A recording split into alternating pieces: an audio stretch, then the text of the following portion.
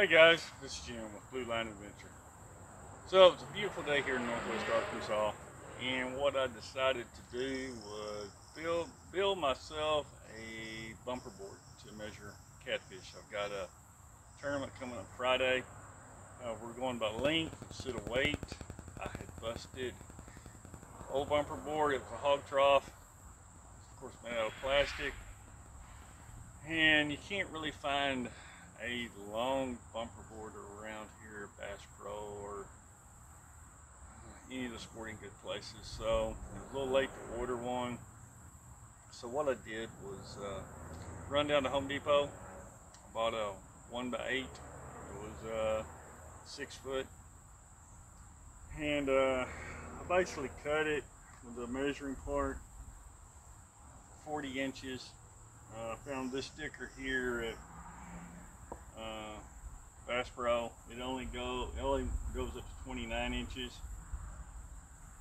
So what I had uh, ended up doing was went to Harbor Freight. They had some basically aluminum rulers that went to 40 inches. So I got two of those and uh, kind of put it together. Um, so I'll show you what I did. Um, think I met all the requirements.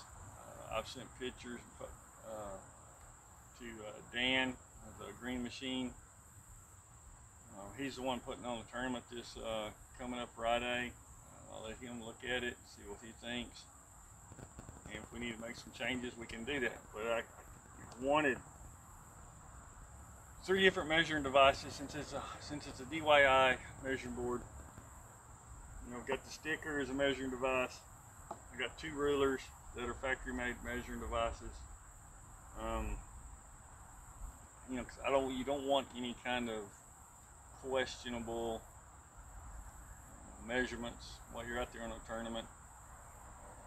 Uh, and I'll give you a close up of what, how I built it and, and everything, but uh, so we'll, we'll stay tuned for a little bit of a close up.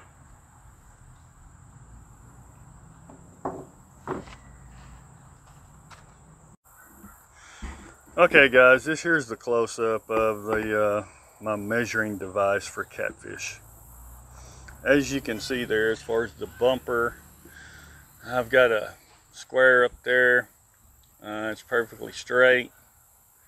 And I, I, put a sticker up there that way uh, you can kind of use the blue line to make sure that the, you know, during a picture or something that the fish is touching.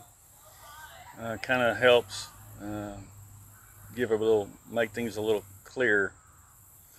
Uh, here I just kind of put this um, as a stop to kind of maybe help the fish from coming forward. Maybe be able to control it a little better on, a little better on the um, board.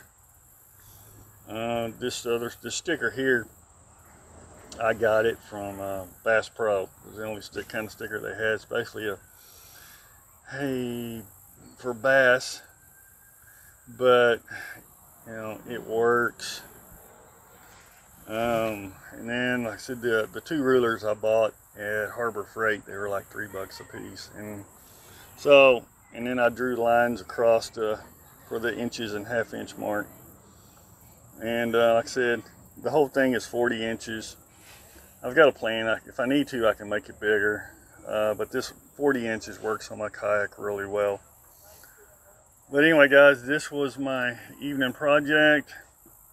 Hopefully it works out for the tournament coming up this Friday. Um, we got some bank fishing planned tonight. As you can see there, I've got my wagon, black lights, and glow-in-the-dark rods. We're going to do some bank fishing tonight. Um, so hopefully the fish are back biting.